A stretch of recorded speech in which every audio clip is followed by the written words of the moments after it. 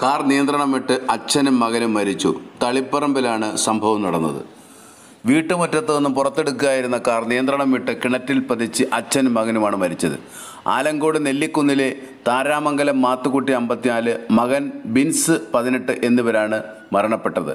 ബുധനാഴ്ച രാവിലെ പത്ത് നാൽപ്പത്തഞ്ചോടെ അപകടം നടന്നത്. മാത്തുക്കുട്ടി സംഭവ സ്ഥലത്ത് വെച്ചും ബിൻസ് പരിയാരത്തെ കണ്ണൂർ ഗവൺമെന്റ് മെഡിക്കൽ കോളേജ് ആശുപത്രിയിൽ വെച്ചുമാണ് മരണപ്പെട്ടത്.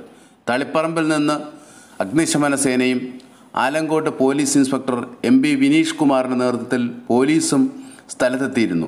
കാറിൽ കുടങ്ങിക്കിടന്ന ബിൻസിനെ ഏറെ നേരം പരിശ്രമത്തിലൊടുവിലാണ് പുറത്തെടുത്തത്.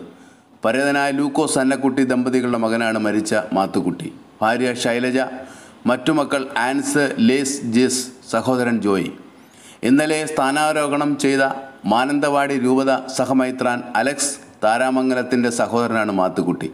സംസ്കാരം വ്യാഴാഴ്ച പാത്തൻപാറ സെന്റ് ആന്റണീസ് പള്ളിയിൽ നടക്കും.